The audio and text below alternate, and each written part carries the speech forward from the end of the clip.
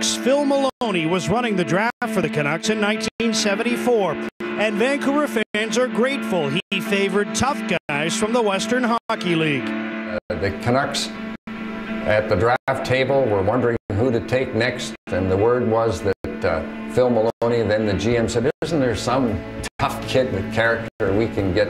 And Phil liked the Western League guys and everything, and a sort of a part-time bird dog scout from Saskatoon, Gil Strum, I think it was, who said, well, there's this kid in Edmonton, Snepsts, uh, you know, he's a real tough kid and he works hard and I like him. So Maloney said, why don't we take him then? So I, I think it was a fourth round, I believe, and Harold was drafted. He was the 59th player selected in the entry draft, and boy, did he prove some experts wrong.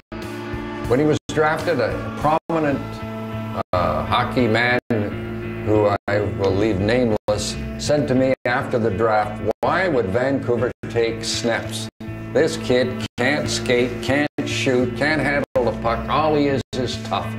He won't play in the NHL. He played 17 years in the NHL, played over a thousand games in the NHL, and gave his all every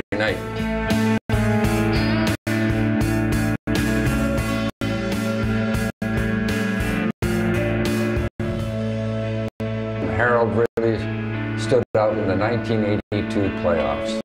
He was terrific. He played 30, 35 minutes. He played tough. He did with a variety of partners, uh, sometimes with young defensemen like Neil Belland and Andy Schliebener. And Harold was great.